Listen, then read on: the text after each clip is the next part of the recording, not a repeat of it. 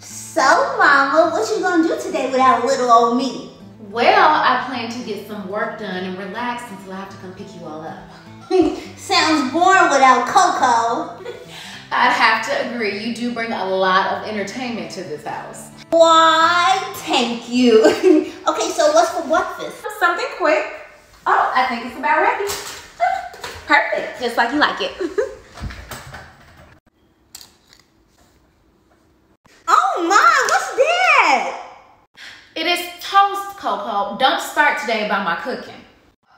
Cooking? Mama, you killed the bread. Tapped out. DOA dead on arrival.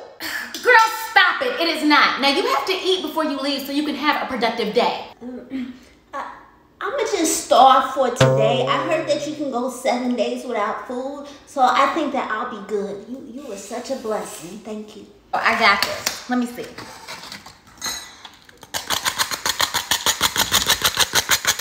Mama, Yes. do you love me? Yes, Coco, I do. There's no way you love me and you try to feed me DOA bread. Mama, I'm sorry for all the Coco stuff that I did. I would clean my room and I would do my chores. There is nothing wrong with this toast. Here.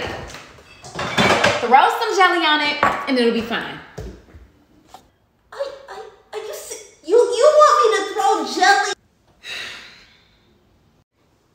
You know, Mama, usually that look works on me.